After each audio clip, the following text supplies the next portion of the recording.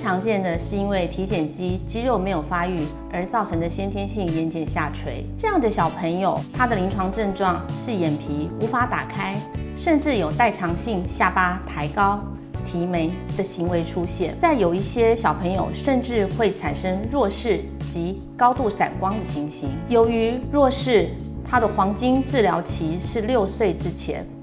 因为下垂而产生遮蔽性的弱视，我们必须要及早的治疗。所以在单侧性眼睑下垂的小朋友，建议于两岁左右手术。但是如果是严重的双侧眼睑下垂小朋友，则建议更早手术。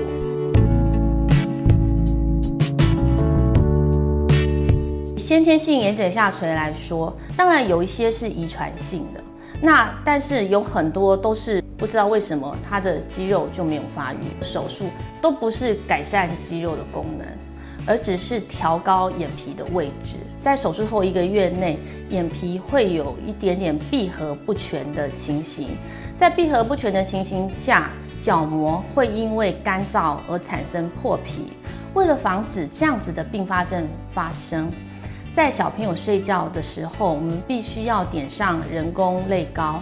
加强角膜的湿润度，但是幸好我们人有所谓的贝尔氏现象，就是闭眼时眼球会往上转，所以一般角膜破露受伤的状况并不会严重。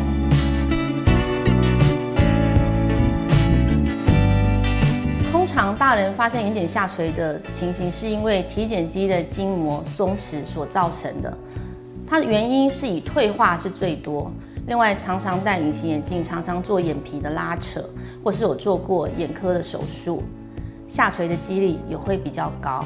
再排除一些原因，且经过适当的治疗，症状没有改善的时候，这个时候我们就可以以手术来改善外观及改善视觉功能。